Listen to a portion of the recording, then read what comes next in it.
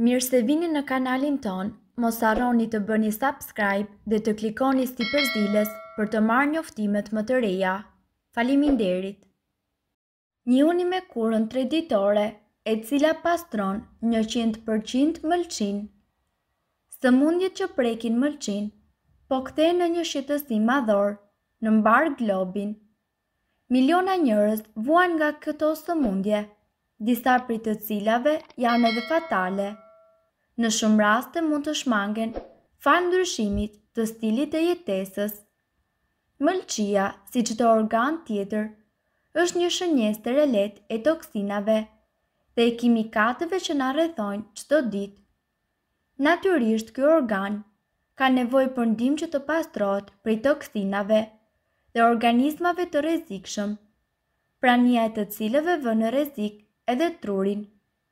Një nga përbërësit kryesorë të të gjitha kurave për pastrimin e mëlçisë është vaji i ullirit.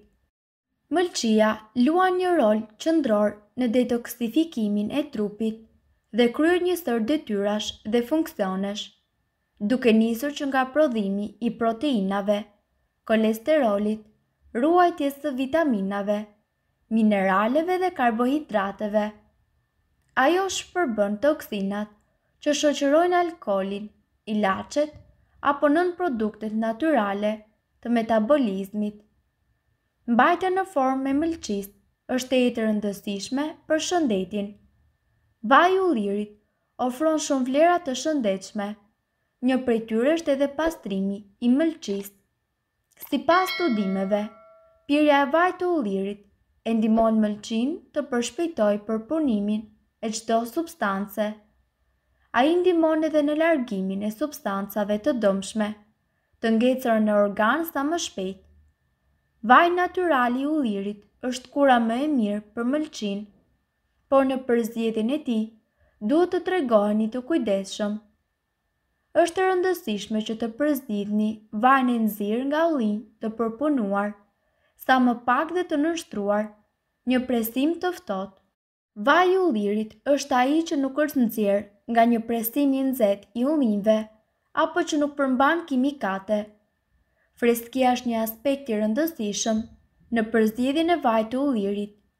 Vaji i ullirit nuk duhet të qëndrojë pa përdorur për shumë kohë. Vajrat që konsumohen brenda dy viteve nga data e prodhimit nuk janë të shëndetshëm. Kura tre ditore e pastrimit të mëlçisë Kjo kurë zgjat tre ditë dhe duhet bërë në mbrëmje përpara se të shkoni për të fjetur. Këshillohet që të përzieni në një mikser gjysmë gote me vaj ulliri dhe gjysmë gote me lëng të freskët limoni. Pieni lëngun menjëherë dhe shtrihuni në shtrat.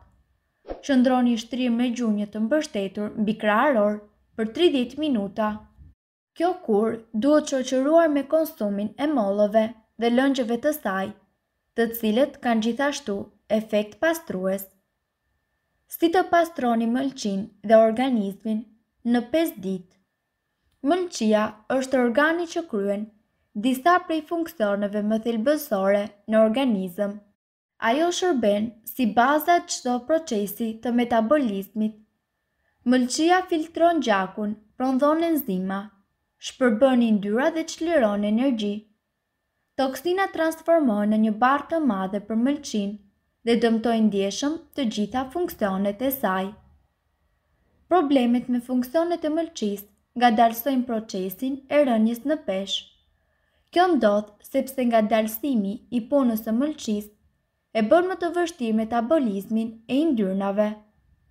Mëlçia është detoksifikuar rregullisht në mënyrë që funksionet e saj të jenë optimale. Kjo kurë që ju do të mësoni do të rikthejë të gjitha fuqitë natyrale të mëlçisë brenda vetëm pesë ditëve. Përbërësit që ju nevojiten për këtë recetë janë një filxhan me majdanoz të grirë, pesë kërcenj selinoje, gjashtë gota ujë dhe tre limonë. Përgatitja Në fillim, lani të gjithë përbërësit me ujë të bollshëm. Përdorni sodë buke për larjen e limonëve, nëse do t'i përdorni ata me gjithë lëkurë. Më pas futini të gjithë përbërësit, përveç ujit, në një mikser. Përzieni mirë dhe më pas shtoni ujin. Përzieni bashkë me ujin derisa masa e përfituar të jetë kompakte. Për rezultate optimale duhet të pini dy gota nga kjo kurë përpara çdo vakti. Kura duhet pirë për tre ditë me radhë, Më pas duhet të bëni shtatë ditë pushim dhe pastaj përsëriteni sërish. Përpiquni të qëndroni larg metaleve të rënda dhe pini mjaftueshëm ujë, që të shumëfishoni ndikimin e kurës pastruese dhe të përmirësoni përpjekjet për të rënë në peshë. Këto janë ushqimet më të mira për shëndetin e mëlçisë. Rrushi Rrushi, veçanërisht ai me ngjyrë të kuqe ose vjollcë, Përmban një sërë substancash mirëbërëse, siç është resveratroli, që ka një larmi vlerash për shëndetin e njeriut. Shumë studime kanë treguar se rrushi dhe lëngu i tij ndihmojnë mëlçinë. Lëngu i panxharit. Sipas të dhënave, lëngu i panxharit është një burim nitrati dhe antioksidantësh që mundën të përmirësojnë shëndetin kardiovaskular dhe pakësojnë dëmtimin oksidues dhe inflamacionin. Perimet Perime si lakra e vogël, brokoli me barishte, janë të njohura për përmbajtjen e lartë të fibrës dhe shijen karakteristike. Ato kanë substanca bimore mjaft të rëndësishme Ekstraktet e lakrës së vogël dhe brokolit rrisin nivelet e enzimave detoksifikuese dhe mbrojnë mëlçinë nga dëmtimet. Arrorët Arrorët janë të pasura me yndyrna, substanca bimore dhe ushqyes, duke përfshirë këtu vitaminën E, një antioksidant i fuqishëm Kjo larmi përbërësish i jep organizmit, veçanërisht zemrës dhe mëlçisë, shëndet të mirë. Peshku Peshqit kanë një nivel të lartë yndyre dhe janë të mira për mëlçinë.